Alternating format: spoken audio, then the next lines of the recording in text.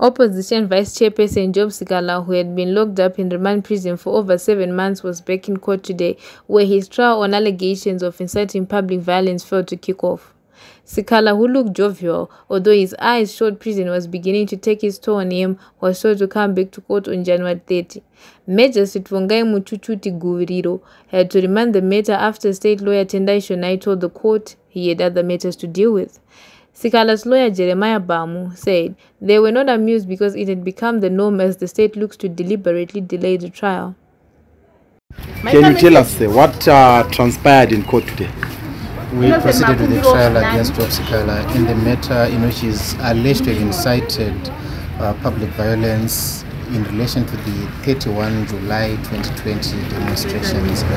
The Officer commanding CID Law and Order, Harare Province, the crime section of it, uh, Superintendent Tunganga was on the witness stand. He finished giving his evidence and the matter was rolled over to tomorrow for trial continuation.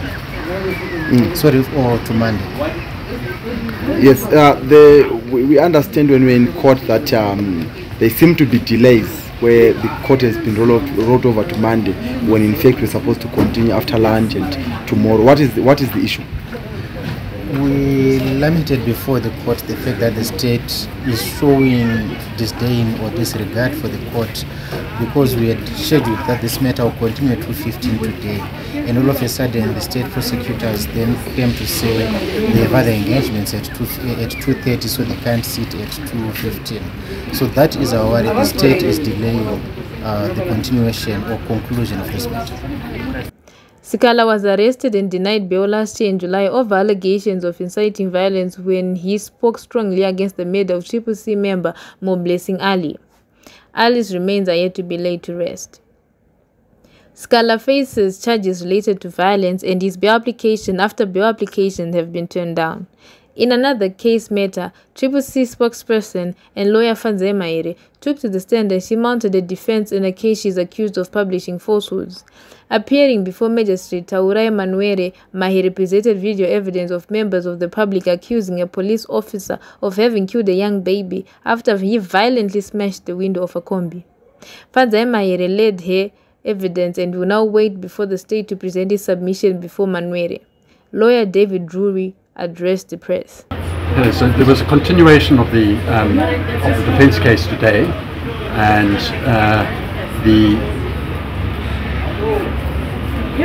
advocate Mahere has finished giving evidence uh, in relation to that. She's been called back for purpose of cross-examination. Uh, provisionally for either the first or the second. I'm sorry, I can't be any clearer than that at 9 o'clock. I have no idea when the match is going to start It's the first time in my court experience that I'm told to come and wait uh, to be advised as to when the matter will continue. So the matter is sub judice at the moment. Um, I can't comment on, on what I think about the case um, and, and so on and so forth. Triple C leaders have become a regular guest of the state at the courts and in prison. Another 25 members of the opposition are in cells battling for freedom after being arrested in Budiriro for allegedly attending an illegal meeting with intentions of causing public violence. Party Vice President Tendai Biti, Lynette Karieni Kore also have cases pending before the court. Reporting for HSTV News, Sigiti, Harare.